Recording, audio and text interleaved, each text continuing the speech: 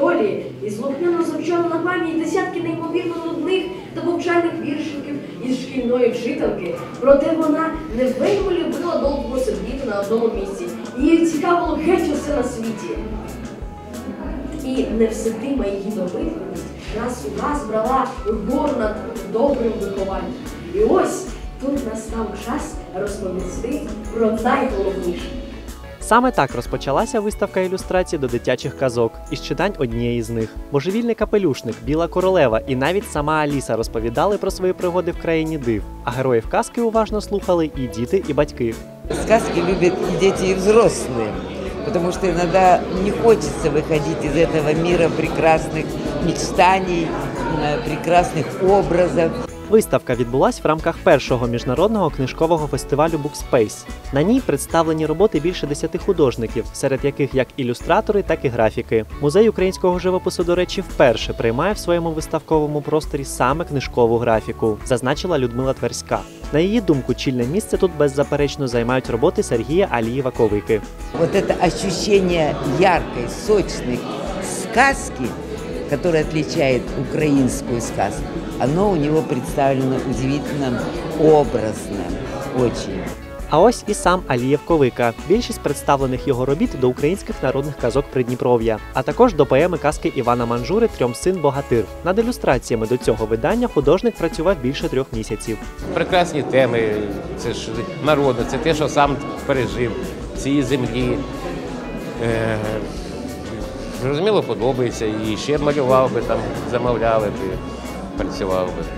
До експозиції долучилися також ілюстратори з Києва та Харкова. А з приїздом художника з Америки виставка перетворилася на міжнародну.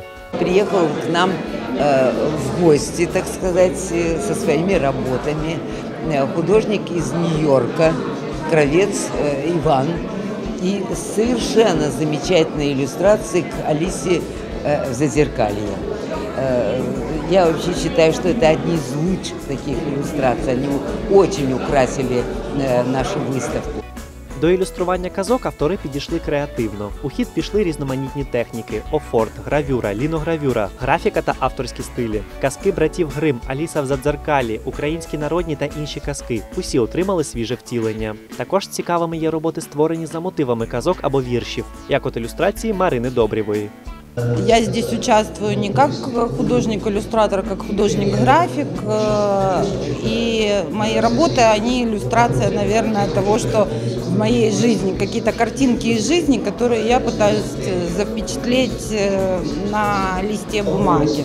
Художниця представила всього п'ять робіт. На її думку, найкращі з доробку. В їх основі образи породжені з цікавих афоризмів, історій життя людей, яких Марина свого часу спостерігала, та навіть особистих переживань. Непосредственно эта работа, она называется, э, ну, как бы три варианта названия у нее есть. «Моя Валюша», э, «Любовь» и «Мама». То есть вот э, для меня это э, образ такой вот именно любви. То есть человек, э, который любит жизнь, любит животных, любит, очень любит своих детей. И это как-то, э, ну, я, я не знаю, как-то в моей голове это все вот трансформировалось непосредственно вот в эту работу. Попри те, що фестиваль Букспейс вже скінчився, ця виставка в музеї українського живопису триватиме два тижні. Час поринути у світ казки ще є, принаймні до 11 жовтня.